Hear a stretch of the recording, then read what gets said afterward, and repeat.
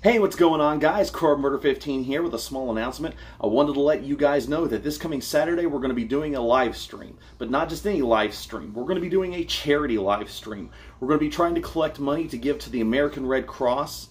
Uh, actually, it'll be going directly to the American Red Cross because there's going to be a link in the description below of the live stream directly to their website hoping that this is going to be going towards victims, families that have been involved in the El Paso and Dayton shootings that have recently happened. We just personally think, you know, it's just it's such a tragedy for something like this to happen and we want to get involved somehow to give back to the people that have lost so much during this horrific incident.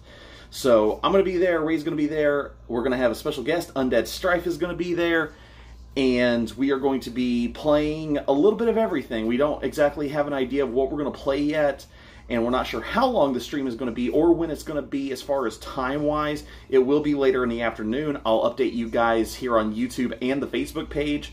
Uh, once we decide on a time, but yeah, we decided we wanted to do a stream to gather money to send out to the victims and families of this the both of these horrific incidences that's just insane to think about. So we're going to try to get some uh, good vibes going on here during the live stream. So we hope to see you guys there. Remember, it's this Saturday, and I will be posting the time as soon as I find out here on YouTube and Facebook. God bless.